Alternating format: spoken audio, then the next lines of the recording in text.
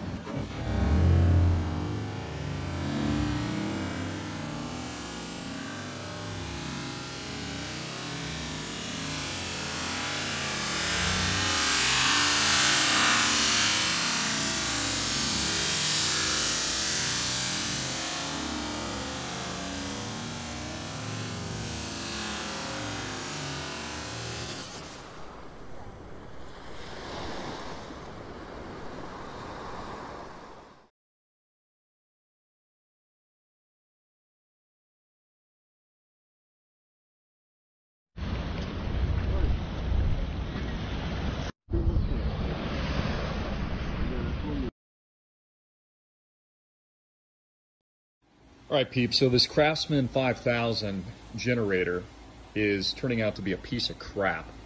So I would definitely never buy this. Uh, I bought this brand new, about a thousand dollars. It'll start, turn over for about a minute, and then just shut down. So I've been troubleshooting, and I disconnected this, which thinking it was maybe kind of like a bad sensor for the oil, maybe for some of you mechanics out there. You understand what I'm saying? I'm not a mechanic, but I've been troubleshooting as best I can to see if that was a problem. But then voila, I pull the air filter here and it's full of oil. You see the oil drippage right there? And I've got a leak over here. So again, this is a brand new unit. I've got a category four storm coming.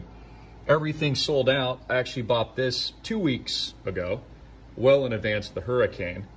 And now Craftsman's just letting me down. You're just letting me down. It's a horrible product. Uh, retweet this to Craftsman. Let them know that their generator just sucks and it's a piece of crap. And uh, definitely never, ever buy one of these, ever.